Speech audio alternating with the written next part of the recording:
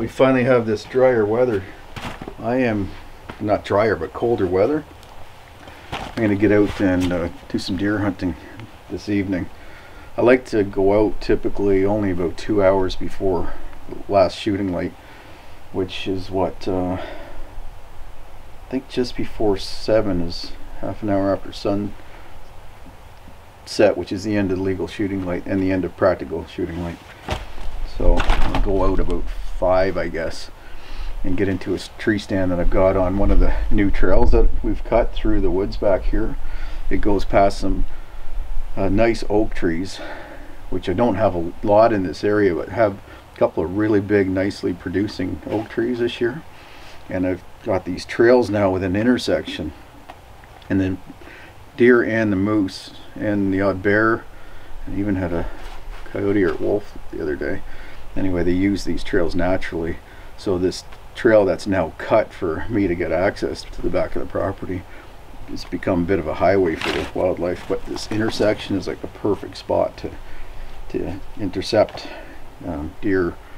And being October 30th today what's happening is I've mostly got does that live on the property. Funny I mostly have does and doe uh, white-tailed deer and cow moose and then the bull moose and the buck deer come in when it's breeding season. So I have a lot of bull moose here in September and, and October especially early October hanging around like right on my property. And they're funneling in from all the crown land all the public land that's around here all the beaver ponds that funnel them all over the place the pockets of hardwoods that are that the deer are living in and eating. So they'll come in here and seek out the does and the and the uh, cows for breeding. This our rut probably peaks, so the most does are in estrus, so they're in heat and, and ready to breed around say the 10th of November. But the weeks week and a half leading up to the peak, the bucks are just running around trying to find those does that are in estrus, that are in heat. So the bucks are now coming into the property. So I've seen, I've only seen two on my trail cameras so far this year actually, or this fall. And there was a few uh, using the mineral lick that I put out for them in the spring. But I don't know if they're the same bucks or not. So anyway, I'm counting on more bucks coming in and they'll use that trail because it kind of goes downwind of the doe bedding, one of the doe bedding areas. So they'll kind of go right past my stand. So I've been leaving it alone. I've been staying out of that area, especially keeping Cali out of there so that we're not leaving our scent. So they'll naturally funnel through there. So I'm hoping this evening being the first time I go in there in a month that I'll be able to intercept a buck.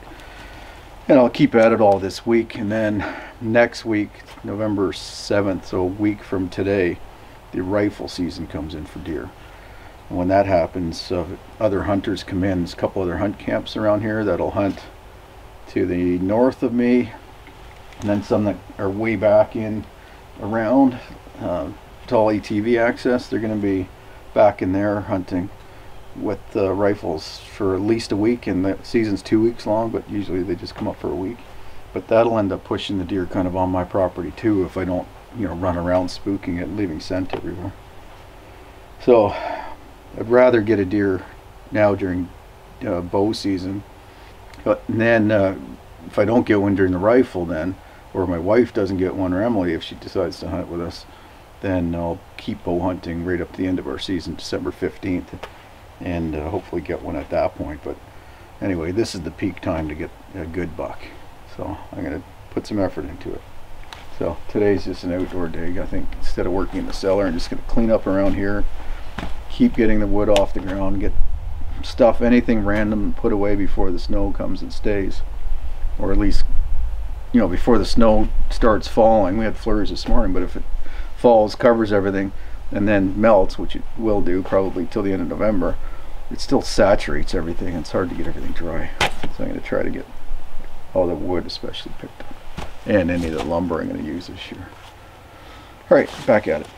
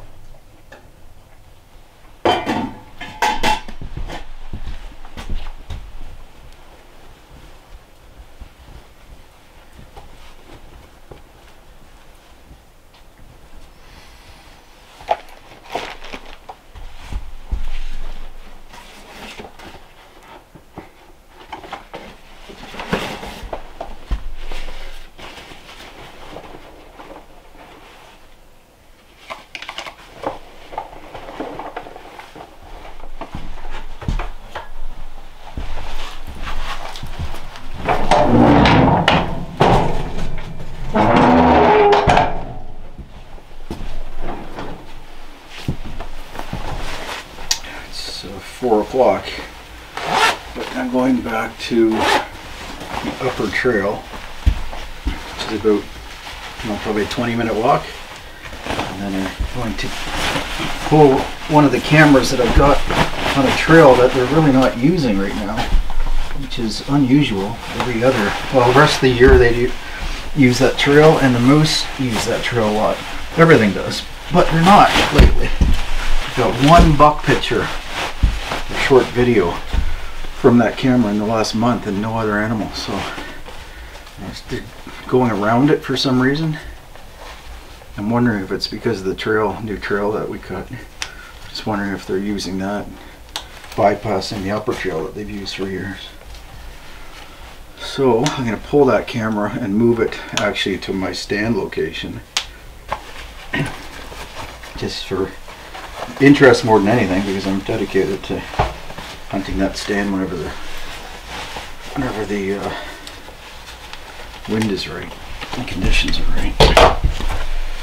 And I can get in and out of that stand without leaving a scent trail because uh, it's not that far actually behind the cabin here. I'm just going back and staying downwind, far downwind of that trail and then getting up through the bush into the stand. And it's kind of thick where I'm coming up through. They don't generally go in through there, like travel through that spot. Which means they're not going to pick up my scent, likely. So it means I can hunt that stand a little bit more often than I would otherwise, because the option, well, the only other way to hunt these deer is to go way around and back into closer to their bedding area, which I'll do later. But I'm not pushing it this early in the season. So I'm kind of just going closer to where the trees are that they're feeding on. Staying closer to that, and then uh, a couple of weeks from now, if I haven't shot something, then I'll start working my way in and getting back and turning, or getting more into the morning hunt getting back to where their bedding area is. It's just that the wind is, uh, it's, it's not as often, it's not often that it comes from the direction that allows me to do that. In other words, I need a south wind, which, you know, some years, last year we got a lot of south winds, but it's not typical in this area.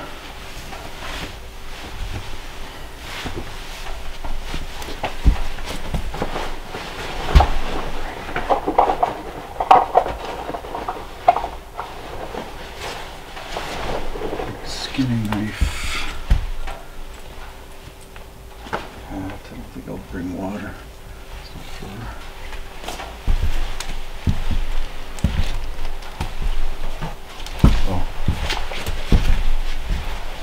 Couple of lights.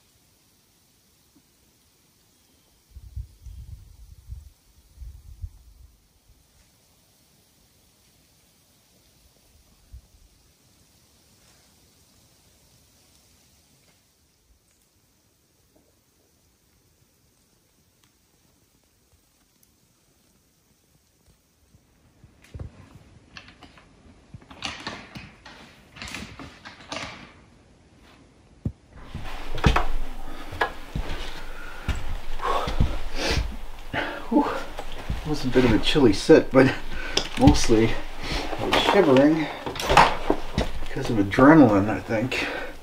And then the cold added to it. So I was on that, sitting in that tree stand that I set up by the that intersection of the trail that I mentioned before I went out. And the uh,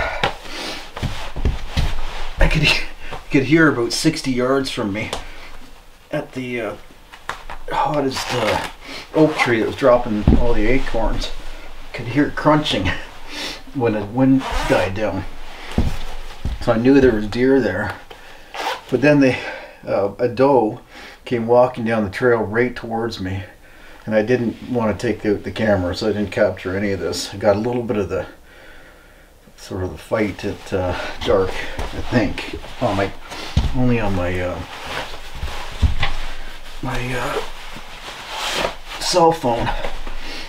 But the cell phone video, when I hit it, record, a light came on, and I didn't want to spook the deer because they're coming towards me. But anyway, a doe, and uh, I think two must have been looked too big to be fawns from this year, so maybe her last year fawns. So anyway, three does came walking down the uh, trail. I said it was an intersection, so it's like this, and I'm sitting here, and they came down and they were picking away and eating acorns in front of me up to about 15 yards. But I could hear other deer, and then I heard one running off. And I thought that that was probably a buck um, running from another one. So sure enough, 15 minutes maybe before end of legal shooting light, I hear a grunt, and then I these deer go running at each other, and they're they hit and they were fighting like crazy, like real uh, full out uh, battle. So I could hear the antlers smashing and breaking branches and everything, and just going crazy. Uh, it was so loud, and actually the sound of the antlers together was so deep that sound. Like it didn't sound like rattling with antlers when you're trying to call them in. It's a lot deeper sound. Actually, I'll show you. And uh, so I thought it was moose actually, and they were kind of like roaring at each other, like a really deep guttural grunt. But that sounded like a moose to me too. I could see just through the bushes, like through the thick trees there. I could see the movement and I hear the branches breaking and the fighting.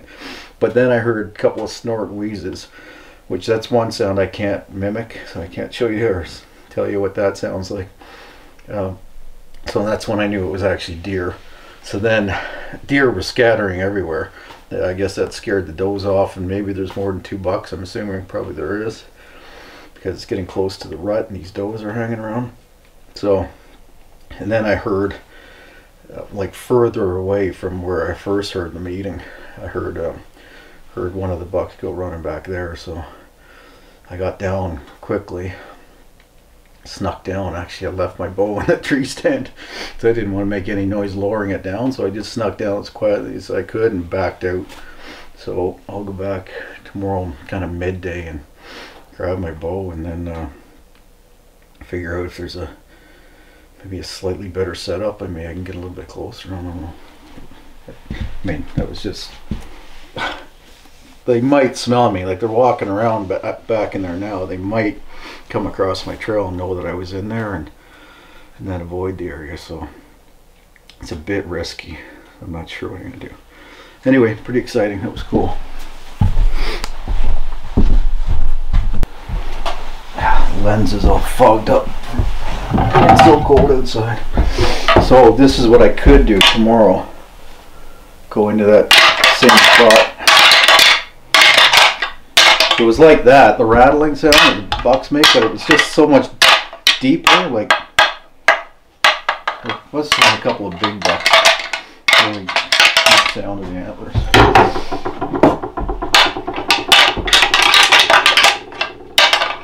they would almost surely come to that sound if I did that. If I went in there tomorrow morning even tried to rattle them in.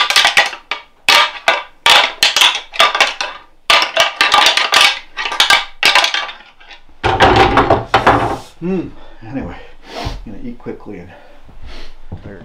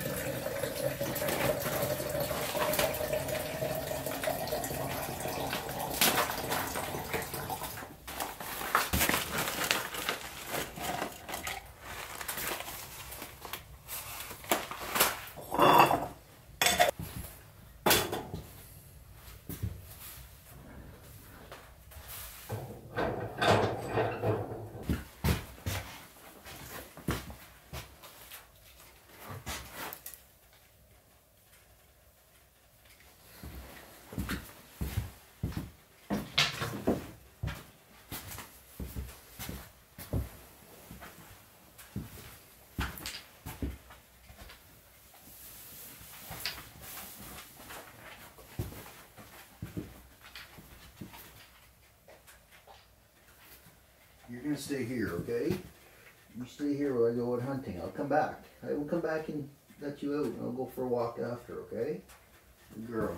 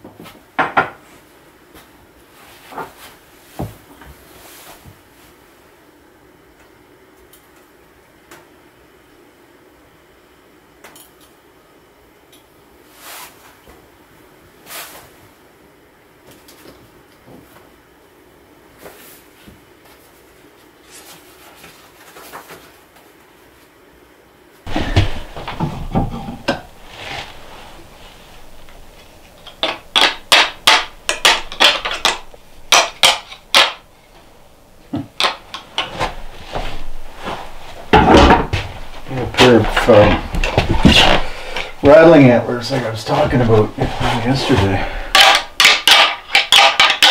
I guess I'm bringing these not the easiest ones to use, but that's the only separated pair I think I have. Or not pair, it's only two. Uh, well, I have several single sheds, but they're all well, at least that size. I seem to have more rights than lefts. Yeah. I only have five, I think, in total. Loose sheds now. Anyway, I went up this morning, nice and early. Well, I started walking from here, right at Legal Shooting Light, which is half an hour before sunrise. With a full moon and the snow on the ground, it was quite bright actually. Um, as soon as I left the cabin, found fox tracks all around here the garden, which is typical. There's at least one fox here pretty much every night. But then I got probably 100 yards back, maybe 50 yards past the green, uh, the uh, entrance to the the garden on the far side, and there was a wolf track crossing the path, and it was a pretty big wolf track. I, I guess there's been three wolves hanging around again, and now that deer have moved in here and are feeding nearby, like 150 yards maybe behind the cabin here, those wolves are probably going to stick around and chase and harass those deer until they get one. Um, like I said, once the deer move out to the yard in December, the deer yard's nowhere near here. The wolves follow them typically, and they'll only come loop through here once a month or something. But I'm not comfortable with how close they're getting. I have the three of them on trail camera. I'd put some bones out I don't know, 100, 200 yards maybe that way, uh, back at the end of the summer, and they came and ate it that night. Uh, was just kind of curious what was out there. Uh, typically, I just have the fishers grabbing all that stuff. But anyway, that cro- that track crossed, and then I did a whole loop or kind of around, trying to stay stay downwind of the path that the deer are on. Um, I ended up seeing. Uh, checking my trail camera up on the upper trail where I said there wasn't much activity this year. Or the second buck of the year uh, came walking out of there at two o'clock this morning. He came across here, which is about where the wolf track would have intercepted that that deer track. Anyway, I kind of stayed away and looped around, and then I saw some running tracks, and then kind of backtracked on those, and there were the uh, smaller wolf track was running and then there was deer trail tracks going off. So they had been chasing the deer right where I plan on hunting, or right where I was hunting this morning too. Uh, and then that big track, I found that, and the three of them came from back over here, crossed through there, chased the deer around, and then went out. So hopefully they're not in tonight. Uh, so that was so, and one of them was following the fox track too, and the fox they do kill the foxes. So the fox was probably headed for the for the high country. Um, the only other thing I heard this morning had an owl fly right over my head, which is cool as I was walking the trail. And then I was up on that upper trail, and then I heard a cow moose calling down maybe 75 yards down at the north end of my property, down in the swampy area. So not a lot of uh, activity. Saw I don't know maybe half a dozen deer tracks. So they're still around. So I'm going to go in and hopefully have same luck I had two nights ago where I had all that deer activity and the bucks fighting. And then I've got that other uh, younger buck on camera. I think there was a spike buck actually came in. It was on camera. So there should be three or four bucks and four or five does. So there's, you know, hoping, like I said, that activity, especially with the snow on the ground, is going to be decent. We got a west wind, so it's not quite as good as the north wind I had this morning, but I think I can make it work. I think I can uh, keep my scent from blowing onto the trail that we're coming in on, the main trail. Anyway, gonna head out. Callie doesn't like when I do this because she knows I'm going for a walk when she sees me pick up the bow. Um, so she doesn't like it, but she can jump it up up in that chair, or more likely just sleep in the breezeway where it's cooler. All right, I'll let you know what happens. I'll bring the uh, GoPro and see if I can film some of it.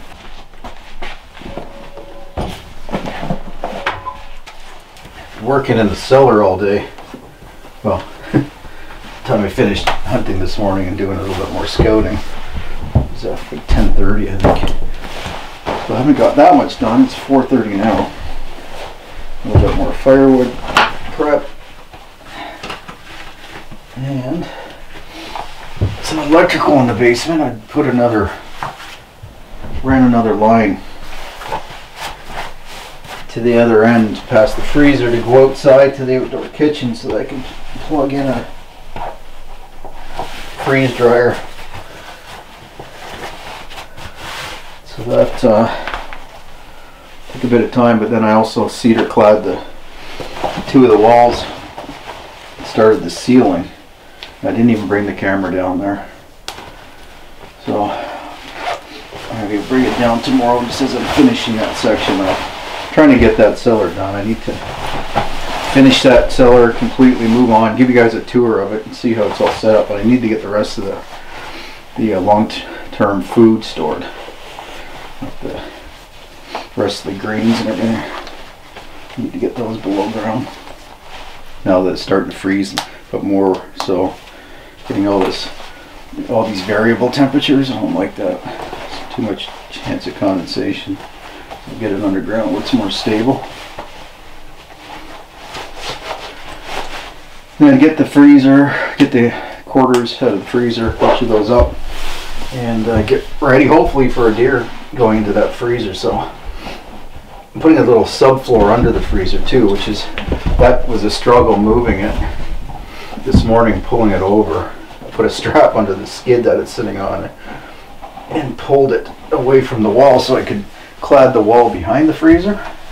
And then I'm uh, putting a vapor barrier down on the sand and putting some planks and then sliding the freezer back into place. And that'll be it for that for a while. Or until I fill it again with deer fish hopefully this winter.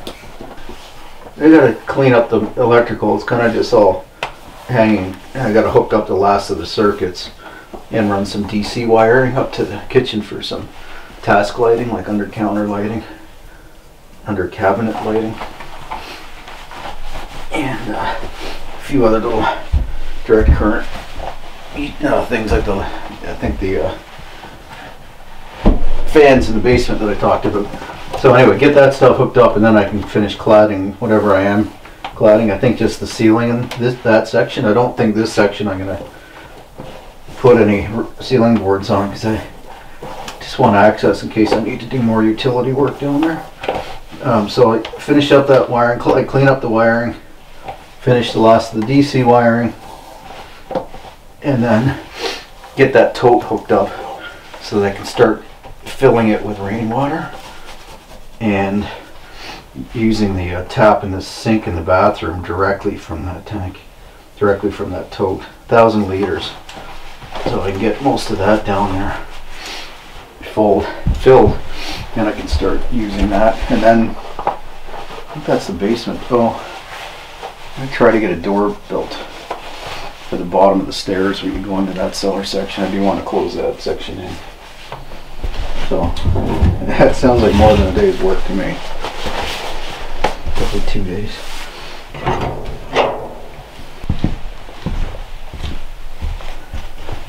Don't overdress and overheat on the way, but I also sometimes put most of my clothes on so that I don't walk fast.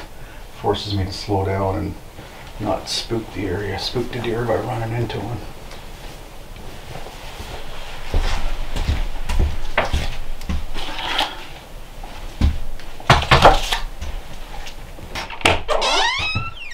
hey, come on in. Get up. Good girl. You have to stay in here while I'm gone, okay?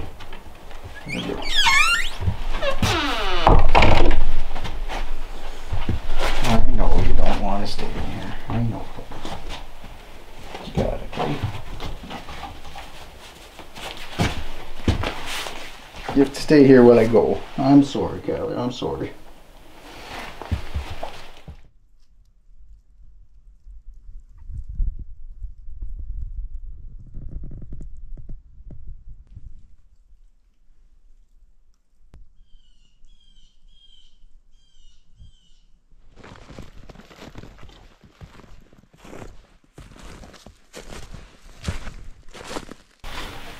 Nothing. Can't believe it. Not even didn't hear anything walking around. It got really quiet, so I would have heard it. Would have heard something walking around. Like if there was anything nearby.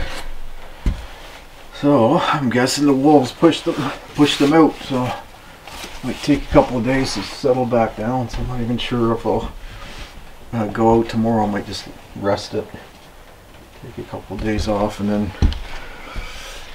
maybe one or two more bow hunts and then I'm into rifle season. I'll probably bow hunt even then. But um, yeah, be lots of guys running around. Not lots of guys, but there is hunt camps around here. They don't come onto my property, but hunting the public land around here. What are you doing?